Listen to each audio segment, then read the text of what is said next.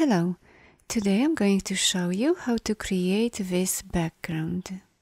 Let's open a new document, change the fill to black and the stroke to none. Then press the letter L for the ellipse tool or select it from the toolbar panel and single click on the artboard. Change the width and the height to 17 pixels and click OK. Next, open the Symbols panel. If you can't see it, go to Window and select Symbols. Now drag this circle here. Close this panel and delete everything from the artboard. Next we'll create lots of dots. Instead of drawing them one by one, we will use a faster method. First zoom out and select the symbol sprayer tool. Now create lots of dots. Before we can edit our shapes, first we need to expand them. To do this, go to Object and select Expand. And repeat this step one more time. Next, switch to the Selection tool, right-click with your mouse and choose Ungroup. Now reposition the dots that are too close to each other.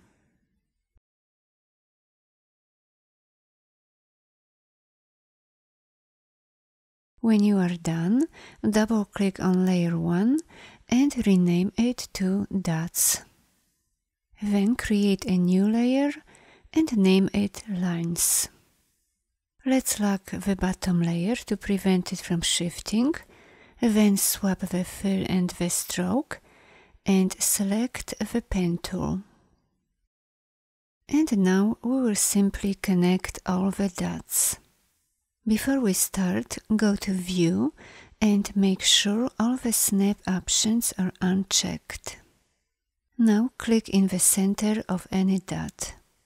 Make sure to click on the center mark and not the path. Then click on the center of another dot and again. Next we'll create another polygon that will share one of the sides with the existing one. You will notice that the cursor is showing a minus symbol. If we click on the existing center anchor point, we will delete the existing path. Let's undo it. To do it right, first hover over the existing center anchor point and then hold down the Shift key.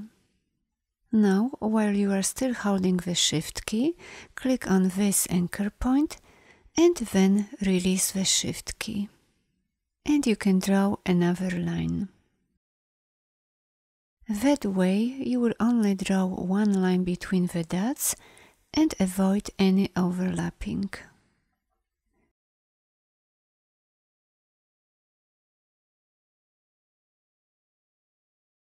To finish the path and start from a new point, first hold down the Control key and then click away from any of the shapes. And continue connecting dots.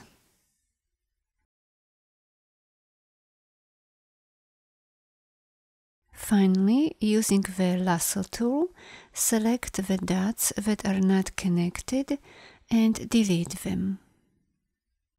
If you wish, you can modify the position of any dot. With the lasso tool selected, draw a line around any dot you want to move.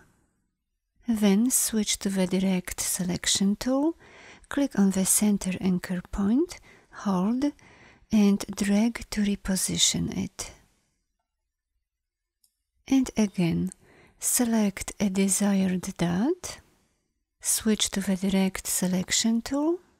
Click on the center anchor point, hold and drag.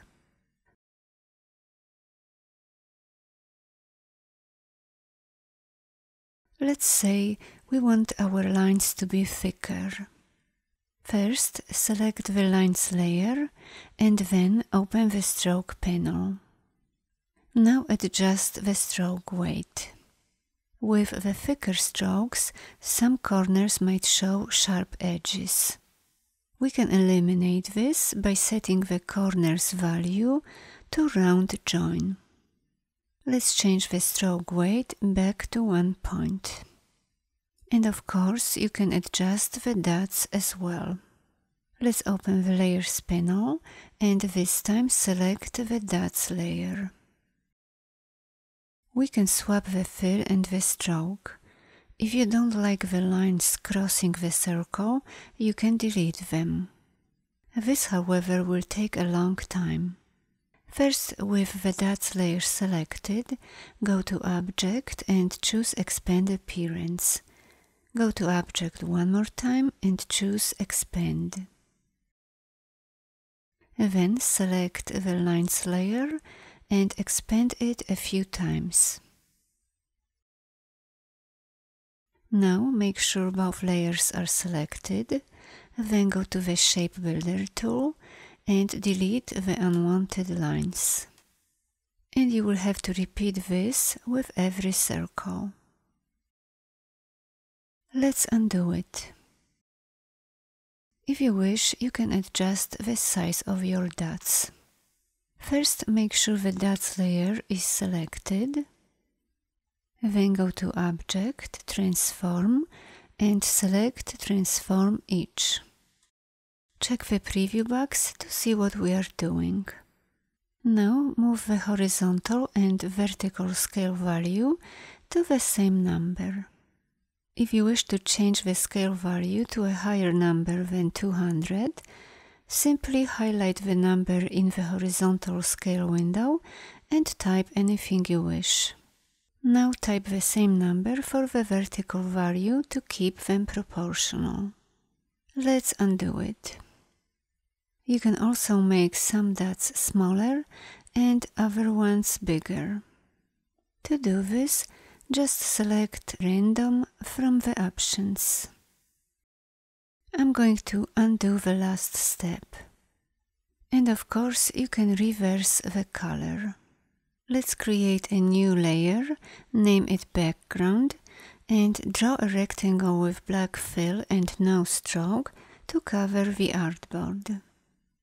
Now bring this layer to the bottom. Select the dots layer, change the fill to white, then select the lines layer and change the stroke to white as well. And of course, you can hide all the lines and dots outside the artboard by creating a clipping mask. First, swap the fill and the stroke, change the fill to a different color, draw a rectangle to cover the artboard. Now select everything and press the Ctrl and number 7 keys on your keyboard to create a clipping mask. Thanks for watching. Bye bye.